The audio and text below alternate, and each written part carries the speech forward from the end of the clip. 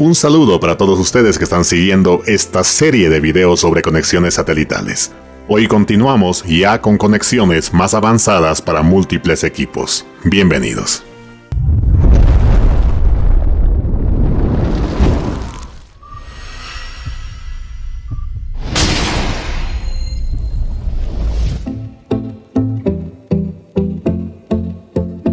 Cuando nuestra estación satelital crece y ya tenemos más de 8 satélites para ver en nuestro decodificador, sería más fácil comprar un conmutador de señal de 16 entradas. Pero ¿cuáles son las alternativas cuando no lo tenemos? Entonces ahí entra la solución denominada cascada para más de 8 satélites y también veremos más adelante incluso para conectar un hotel o un edificio de apartamentos. Así que vean todo el tutorial detenidamente. Para el primer ejemplo, aquí tenemos un DISEC 1.1. Podría ser uno que sea 1.2 o 1.3, pero debe tener 8 bocas. Y por otro lado, también utilizaremos DISECs de 4 a 1, ya sea 1.0 o superior como estos que estoy usando que son 2.0. Debo mencionarles que son 16 el límite de bocas que se puede obtener, ¿de acuerdo? Pero ¿cómo lo hacemos y cómo se configura en el decodificador? Vayamos despejando nuestras dudas. Lo básico es que siempre de la salida del DISEC 1.1 el cable coaxial va directo al decodificador. Ahora, para ampliar nuestras posibilidades, estos DISECs 4 a 1 podríamos conectarlos en cualquier boca del DISEC 1.1. Yo lo conectaré en la entrada número 1.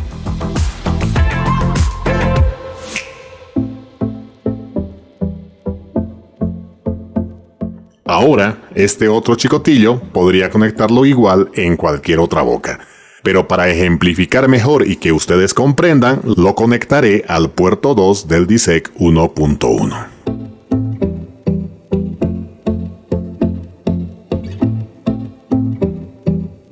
Hasta aquí, si empezamos a contar las bocas libres que ahora tiene, ya tendríamos para 14 satélites, es decir, 1, 2, 3, 4, 5, 6, 7, 8, 9, 10, 11, 12, 13 y 14. Ahora, para graficar mejor, hagamos un ejemplo con satélites al azar. Vamos a colocar, por ejemplo, en el puerto 1 del primer DISEC pequeño al 67W. Vendría aquí.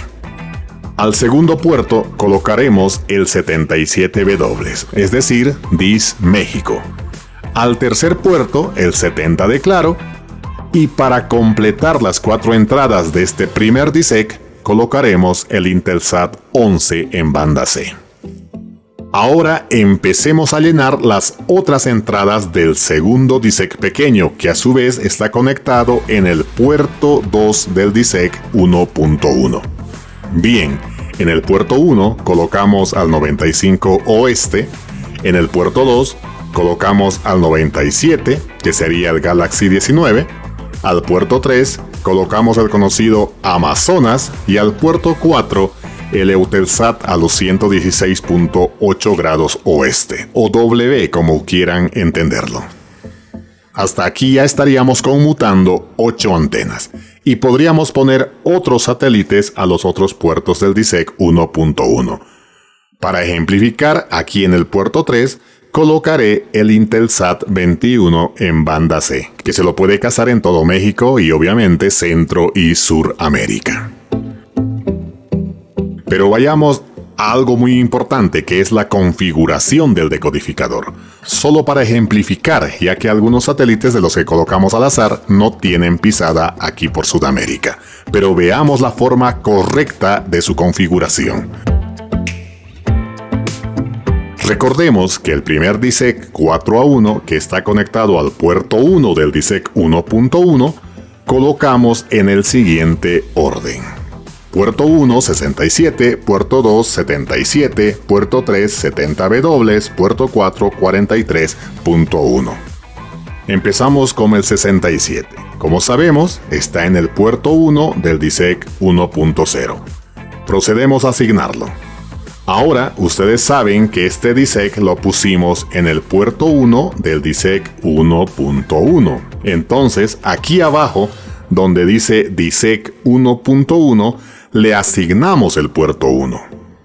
Sé que algunos ya están empezando a comprender, pero sigamos. Lo guardamos y buscamos el 77. Aquí le decimos que este satélite está en el puerto 2 pero sigue estando conectado al puerto 1 del DISEC 1.1. Entonces quedaría así. También guardamos los cambios y buscamos el tercer satélite que sería el 70W, el 70 de claro, que como recordarán lo conectamos al puerto 3. Entonces procedemos a hacer ese cambio. Finalmente, haríamos lo mismo con el cuarto satélite que es el 43.1, pero ese conjunto de cuatro satélites han sido conectados en el puerto 1 del DISEC 1.1. Por lo tanto, para los cuatro satélites se debe configurar en dicho puerto. Hasta aquí una gran mayoría seguramente ya están comprendiendo este procedimiento. Pero quiero que todos entiendan a la perfección el proceso, así que continuamos rápidamente. En un segundo DISEC pequeño de 4 a 1 también conectamos cuatro satélites en los diferentes puertos. En el 1 pusimos al 95, recordarán que en el 2 conectamos el 97, en el 3 el Amazonas o 61W y en el 4 el Eutelsat 116.8 Oeste. Pero fíjense que este otro grupo de cuatro satélites hemos conectado al puerto 2 del DISEC 1.1. Por consiguiente, en todos debemos seleccionar el puerto 2 ahí donde dice DISEC 1.1. Sé que ya han comprendido, pero hagámoslo rápidamente. Nuestro satélite 95 oeste le asignamos al puerto 1 del DISEC 1.0 y en el puerto 2 del DISEC 1.1. El 97 está en el puerto 2 y continúa también en el puerto 2 del otro DISEC guardamos los cambios y procedemos a direccionar el satélite Amazonas que ha sido asignado físicamente al puerto 3 del DISEC 1.0 y como dijimos antes continúa en el puerto 2 en el DISEC 1.1. Y con el Eutelsat haríamos exactamente lo mismo. Para terminar esta parte y como ejemplo, hemos colocado el Intelsat 21 directamente al puerto 3 del DISEC 1.1. Por lo tanto, en la configuración del decodificador, donde dice DISEC 1.0 lo dejamos en deshabilitado, porque no estamos usando ese tipo de conmutador. Y solamente donde dice DISEC 1.1 le decimos que está en el puerto 3. Y de la misma manera procederíamos con los demás puertos vacantes. Con esta explicación no creo les quepe la menor duda. Ahora, hay otra forma de hacer cascada para lo contrario, es decir, ya no para conectar muchos satélites a un decodificador, sino para conectar un satélite o un par de satélites a decenas de decodificadores. ¿Cómo hacemos esta operación? Aquí tenemos un pequeño edificio de departamentos de cuatro pisos. Vamos a suponer que el dueño nos dice que quiere la señal del Intelsat 21 en todos los pisos. Cada piso tiene dos departamentos y en cada departamento generalmente hay tres decodificadores. En consecuencia, serían seis decodificadores por piso, haciendo un total de 24 decodificadores. La forma sencilla sería tener un LNB de dos salidas en nuestro plato que está apuntando al satélite Intelsat 21 y conseguirse un multiswitch de 32 salidas para de cada salida ir repartiendo en cada piso del edificio. Pero la alternativa con cascada sería la siguiente. De la misma manera, tenemos nuestro satélite apuntando al Intelsat 21 con un LNB Twin y nos conseguimos cuatro multiswitch de 8 salidas. Y los ubicaríamos en cada piso de la siguiente manera. Entonces sacamos los primeros dos coaxiales del LNB Twin a las dos entradas del primer multiswitch de 8 salidas. Como requerimos solo 6, los repartimos en todos los decodificadores del piso.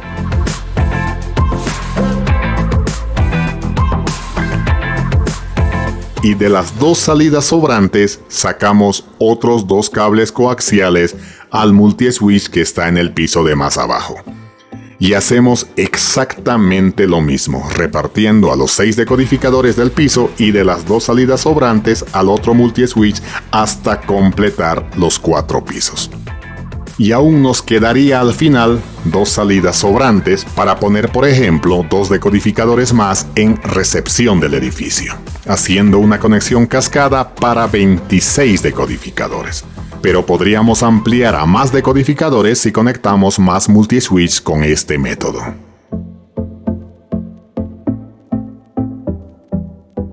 Finalmente, es importante que ustedes entiendan el concepto de lo que son las conexiones con diferentes elementos a utilizar. Y si lo hacen, créanme que les será más fácil interpretar todo esto que les he estado enseñando en este curso de cuatro videos.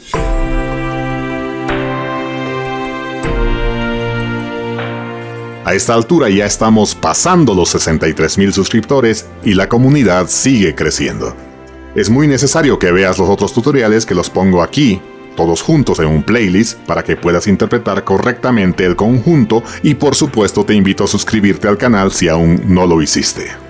Soy Ricardo Antonio Guillén, regálame un like, ¿te parece? Nos vemos pronto, a la vuelta de algún camino.